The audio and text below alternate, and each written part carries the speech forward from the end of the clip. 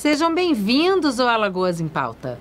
Você sabia que lesões na pele podem servir tanto como um sinal de alerta antecipado para pessoas que contraíram o coronavírus, quanto acabar sendo o único sinal clínico ao longo de toda a infecção?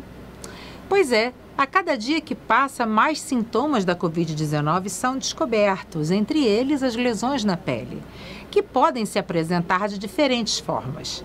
Segundo um estudo italiano publicado no início da pandemia, mais de 20% dos pacientes internados por Covid apresentavam algum tipo de manifestação cutânea.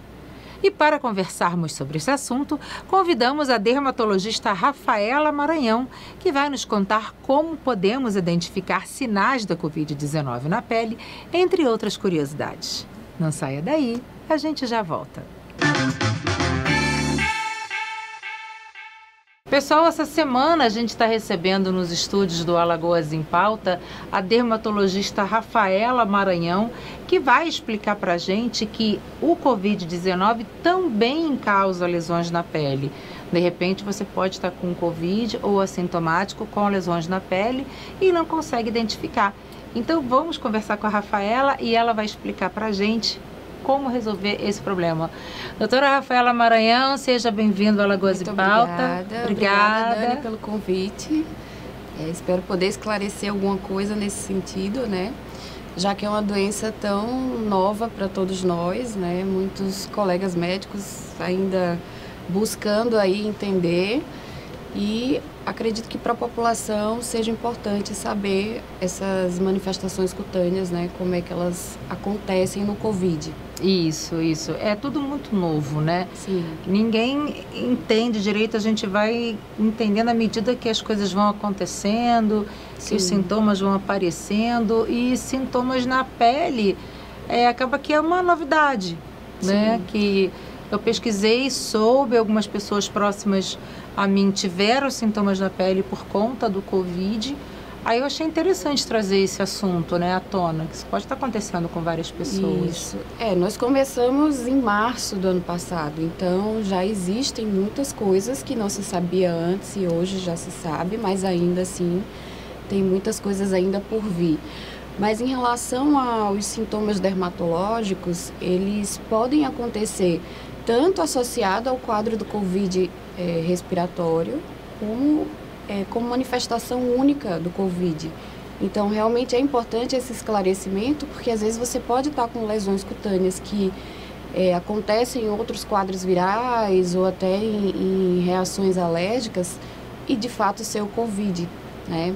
Então, geralmente o que é que a gente tem visto? É, as lesões exotemáticas, que são aquelas é, placas, é, pápulazinhas avermelhadas que podem acontecer em outras síndromes virais, em outros quadros virais, é, lesões vesiculosas como catapora, varicela, hum. até se é, acreditou que pudesse estar acontecendo isso, mas na verdade eram sintomas do Covid e é, urticárias, que as pessoas chamam de vergões, são os, os mais comuns, né, que a gente tem visto tanto associada ao quadro é, agudo do, do Covid, como também pós-reação.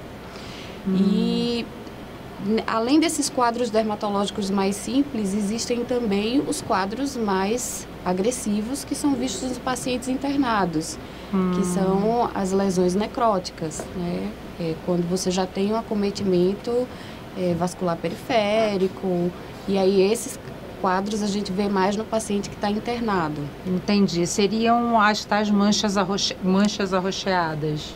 Também, mas existem as manchas arroxeadas acrais, que tem recebido até o nome de pé de Covid, que é visto também principalmente na criança, no paciente mais jovem, que não necessariamente está relacionada à gravidade, pelo contrário. Hum. É, então, tem as superficiais, digamos assim, que seriam relacionadas a um quadro de livedo. É, é muito comum ver isso no frio. São é, lesões mais comuns no sul, por exemplo, em países hum. frios, e que a gente tem visto no Covid. E os quadros mais intensos, mais graves, que são as necroses, né? que são, poderiam ser lesões mais permanentes. Entendi. E por que, que a Covid causa lesões na pele? Então, os vírus, as viroses em geral, ela, elas podem é, ter esse tipo de manifestação, talvez pelo tropismo, pela afinidade do vírus com o endotélio, com as células né, da pele, o, o, epitélio, o endotélio. E é, não é uma coisa específica do SARS-CoV, né? não é uma coisa específica do Covid. Isso pode acontecer com outras viroses também. Por isso que o fato de ter essas lesões não é, é é preditivo de que é um Covid. Claro, Acende claro. o sinal de alerta. Né? Uma vez que você apresenta essas manifestações cutâneas, sem outras coisas associadas, você pode sim investigar o Covid. Né? É, fecha-se o diagnóstico avaliando-se o, o, paciente como, como um todo, todo, né, com outros sintomas Fazendo clínicos, sorologia, sorologia, né? né, exames de sangue, Isso. não é só lesão na pele que é Covid, hein, gente? Sim, né? é, lesão na é pele pode ser gente, várias coisas. Exatamente. Acende um sinalzinho de alerta quando o paciente, né, de forma aguda, abrupta, apresenta esses sintomas. Então, tem que se pensar também em Covid, mas não é específico, exclusivo do Covid. É. Pode, às vezes, ser uma farmacodermia, uma alergia a medicamento, até porque nesse momento as pessoas estão se automedicando muito. Muito. Então nem se tem certeza ainda se muitas das manifestações associadas ao Covid são de fato do Covid ou manifestações medicamentosas. É. Essas reações medicamentosas e até interações medicamentosas Sim. também, né? Quando você tem um choque de uma substância com a outra, isso acontece muito Sim. no organismo e cada pessoa reage de uma maneira. Exatamente. Eu tive uma vez uma manifestação cutânea que eu não posso tomar piroxicam, que é o inflamene. É, eu tive erupção bolhosa. Pois é. Na palma das mãos, na barriga e nas laterais. Como se eu tivesse pego em fogo. É, não, a assim, própria medicação pode às vezes gerar doença, é... né? Então as pessoas estão tomando muito ivermectina, hum. é, uma reação estranhíssima. Começou a surgir bolhas no meu corpo. Falei, gente, que isso? Aí fui ler a bula. Sim. Aí uma das reações é, é essa erupção bolhosa. Eu falei, gente, aí nunca mais tomei. É. Nunca mais. a gente mundo... pede, inclusive, né, que não seja feito essa automedicação. De é. preferência, consulte um médico, um clínico, um, um, um serviço. É perigoso, né? É, é muito Exatamente. Perigoso. Existe algum grupo ou faixa etária mais suscetível a apresentar lesões cutâneas relacionadas à Covid? Toda, todas as faixas etárias podem apresentar, desde a criança ao idoso. A gente tem visto relatos de dessas lesões periféricas, né, do pé, do Covid, desse arroxeado, ter sido mais frequente na faixa etária mais jovem, na criança, né, no adolescente, mas não é específico do mais jovem e todas as faixas, faixas etárias podem ser acometidas. Inclusive as pessoas com comorbidades, né? Porque Sim. nessas áreas periféricas, é, os diabéticos estão mais suscetíveis, né? Também, também. No pé, nas mãos, nas extremidades, né? Sim, Digamos assim. Exatamente. Aí a gente tem que tomar mais cuidado com isso. É, essas lesões na pele, elas são permanentes? Em geral, não. Em geral, fazem parte do quadro né, agudo e medicado. São lesões que vão desaparecer e vão é, se resolver. E doem, assim, elas, elas causam também aquele rash cutâneo? Podem causar que... prurido, desconforto. Se são lesões mais bolhosas, podem arder, né? Às vezes a gente coçando acaba infectando. Mas não são lesões em geral permanentes. As lesões que podem se tornar permanentes são aquelas mais graves dos pacientes acamados, internados, né? Geralmente a gente vê isso acontecer mais nos pacientes que estão em tratamento de terapia intensiva, quando evoluem para necrose. Então, dependendo da gravidade, essas lesões podem sim se tornar permanentes, mas em geral são lesões que se resolvem. Elas podem às vezes demorar um pouco, mesmo nos quadros leves. Mesmo depois de curada a pessoa. Depois de curada, eu peguei alguns pacientes, eu tive alguns casos assim, até de familiares e também no consultório de pessoas que já tinham curado o Covid há um mês e estavam ali com prurido, coceira, né? E esses exantemas, mas que vão resolver. Em é. geral, isso vai, vai, vai melhorar, sumindo, vai sumindo, é. Com, com o tempo, né? E que tipo de doenças, por exemplo, tem primeiro manifestações na pele para depois a gente ter manifestações clínicas, por exemplo? Várias. Isso aí é muito é amplo. Muito né? amplo é. Muito As viroses amplo. costumam ter essa característica, né, de ter um exantema, um, um, a gente chamaria de sintomas prodrômicos, né, que aparecem antes da doença, mas qualquer doença pode. Então, é um, aí seria um capítulo muito vasto. Mas o Covid pode ser uma dessas, né? Que tem... O Covid ele foi classificado, né, como ele pode dessas, ter né? manifestações né? cutâneas prévias ao quadro né, agudo, como também pode ser a única manifestação. E existem mais estudos, o pessoal, os dermatologistas, os infectologistas estão promovendo mais estudos, estudos mais aprofundados Sim, com nossa, relação a isso. Isso aí está sendo exaustivamente estudado, até porque assim existem muitas manifestações distintas, né? Como a gente citou aqui, os exantemas, as vesículas, a urticária, o prurido, a necrose. Então são grupos muito distintos de manifestações uhum. é, que precisam realmente ser avaliadas, porque que um paciente tem, o outro não tem. Então isso aí está sendo realmente amplamente estudada para que eu acredito que no futuro a gente consiga ter um esclarecimento maior. Maior, né? E as pessoas com comorbidades, elas também são suscetíveis? Sim, também. Bastante, também. né? É, é, difícil a gente hoje avaliar o Covid, sintomas e lesões e consequências, enfim, sequelas, porque como a doença é nova, e tem muitos estudos em andamento, a gente fica sempre buscando novidades. Às vezes uma informação substitui a outra, achava-se que era de um jeito e de repente Sim. é outro.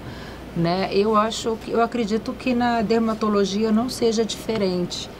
É, inclusive assim, boa parte dessas drogas, desses medicamentos utilizados hoje no Covid, tanto algumas pessoas defendendo a linha da prevenção, outros que realmente só instituem como protocolo do quadro agudo da doença, como a ivermectina, a cloroquina, são medicações usadas há muitos anos na dermatologia para tratar várias outras doenças. Então, é, acabou que, que foi uma doença que veio e que o dermatologista pôde realmente ter uma grande participação, né? tanto é, nessa questão de atuar de uma forma mais rápida, porque o paciente chegou com aquela lesão e você já automaticamente pensou nessa possibilidade de ser o Covid e tratar, como também agregando nos estudos né, que os, os grandes cientistas estão aí fazendo e podendo contar com a participação do dermatologista Entendi. que faz essa parte clínica, né? Isso é importantíssimo. E assim, essas lesões, elas também não passam, né? Não,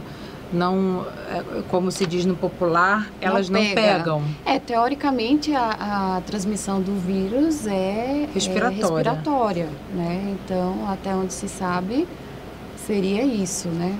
Seria o Covid não seria transmissível pela um, pele. É, teoricamente. Num primeiro tem, momento. É, num primeiro momento não, não tem ainda essa. Até porque as pessoas também não estão se pegando, mas assim, às vezes, como a gente está tendo que higienizar a mão diversas sim, vezes, sim. as pessoas tocam sim. e a lesão pode encostar num objeto alguma é, no coisa. começo gerou até aquele pânico, né? Meu é. Deus, quanto tempo fica em, em Nas superfícies, de né? superfície. Mas assim, hoje está mais evidente assim que realmente é uma partícula, um vírus de transmissão respiratória. Mas enfim. Hum.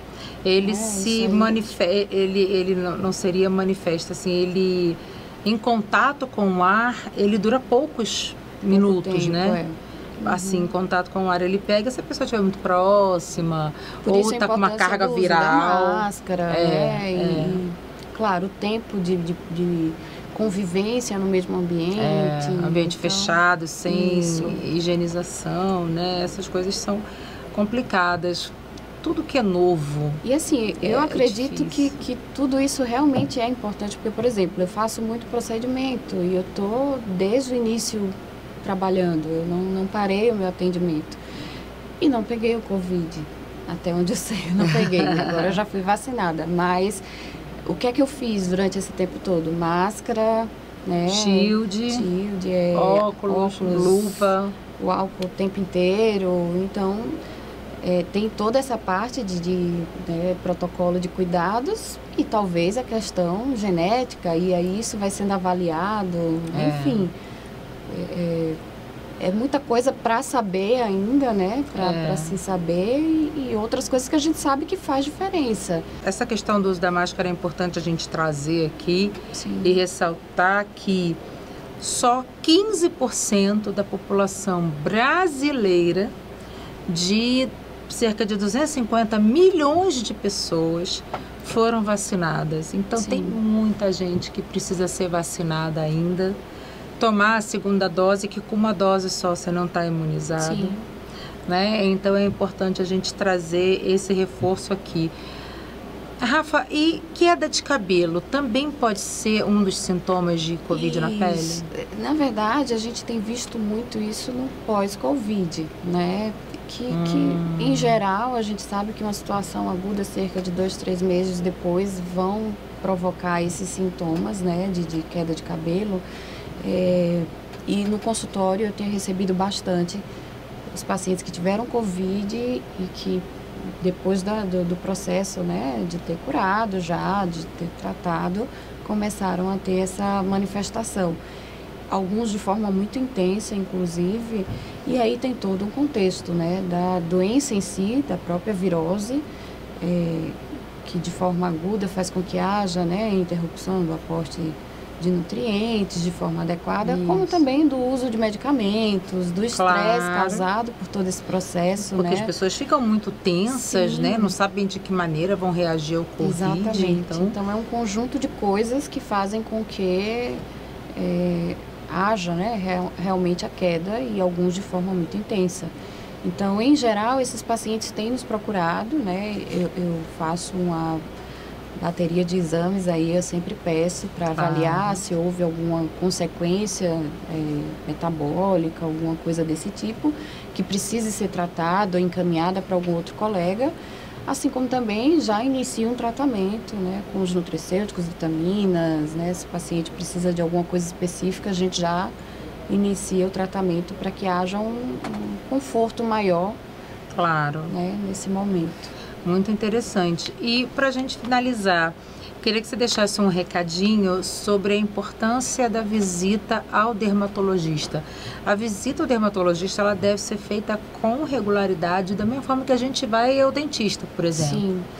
Né? Você Avaliar fala assim, de uma forma geral? Geral, de uma forma geral, Sim. assim, na vida, né? É, então, eu, eu, como você falou, eu acho tão importante quanto a visita ao dermatologista, ao dentista, porque a saúde da pele é fundamental, não de uma forma estética, né? Claro. Apenas. Também, claro, porque a gente precisa se olhar e se sentir bem, mas de uma forma preventiva. É, nós moramos numa cidade muito quente, que as pessoas adoram praia, sol o ano inteiro uhum. e que desde a infância a gente acaba se expondo muito e existe o risco do desenvolvimento do câncer de pele, né, das manchas, das ceratoses, melanoses, enfim, uma série de coisas que se você já desde cedo faz a prevenção com reforço do uso do protetor solar, e outras orientações, isso se torna é, fundamental para que no futuro você previna várias doenças de pele. Claro, né? claro. Então, de uma forma geral, eu considero relevante, importante micoses, né, os panos micoses, brancos que a gente exatamente. tem na pele e até o próprio estresse pode causar Sim. manifestações cutâneas que com a ajuda da, do da medicina, do médico, né, é isso. Você, a gente consegue tratar direitinho. Doutora Rafaela Maranhão, quero agradecer a sua presença aqui Eu no Alagoas em Pauta. Foi muito bom conversar com você e trazer esse tema que Sim. tem preocupado muitas pessoas. É, o Covid como um todo, mas manifestações cutâneas é uma coisa que a gente não tem é, ouvido muito falar, a imprensa não tem trazido muito isso, mas que a gente tem percebido que tem acontecido. Sim, e é uma preocupação, né? É, é uma preocupação. Então foi super importante a gente comentar sobre isso aqui e eu tenho certeza que ajudou a muita gente. Ah, que bom. Muito Espero obrigada. Que, que tenha acrescentado. Obrigada pelo convite, Dani. Com certeza. Muito obrigada pela sua audiência e até o próximo Alagoas em Pauta. No programa de hoje, conversamos com a dermatologista Rafaela Maranhão, que nos explicou os efeitos da Covid-19 na pele e de que forma podemos identificá-los. Se você perdeu esse e outros programas da TV Cidadã, é só acessar o nosso canal no YouTube e ativar as notificações. Assim você vai ficar por dentro de tudo o que acontece de mais importante no Brasil e em Alagoas. Semana que vem a gente volta. Até lá!